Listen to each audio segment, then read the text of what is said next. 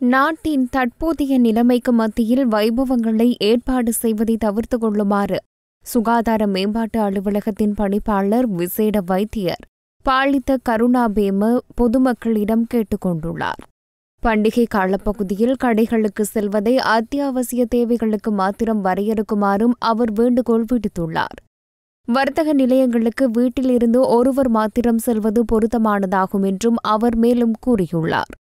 இது தொடர்பாக வீட்டிலுள்ள அனைவரும் தற்போதைய நிலைமையை உணர்ந்து செயற்பட வேண்டுமென்றும் அவர் சுட்டிக்காட்டியுள்ளார். மேலும் பொதுமக்கள் பொறுப்புடன் செயற்படுவதன் மூலம் வைரஸ் தொற்று பரவுவதை கட்டுப்படுத்த முடியும் எனவும் அவர் சுட்டிக்காட்டியுள்ளார்.